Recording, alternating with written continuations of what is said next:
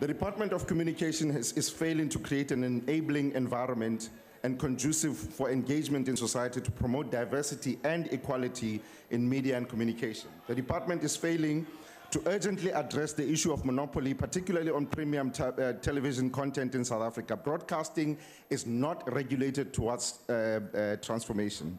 This is made worse by controversial and I might add politically charged editorial decisions and policies in the SABC, an institution that is supposed to be independent with a healthy proximity from people in power. The 22 year old failure of this department to give strategic and policy direction, as well as whip the SABC into line and work with ICASA, is manifestation of its lack of capacity to, to fulfill its mandate. In, uh, in, in, in- in, its last um, um,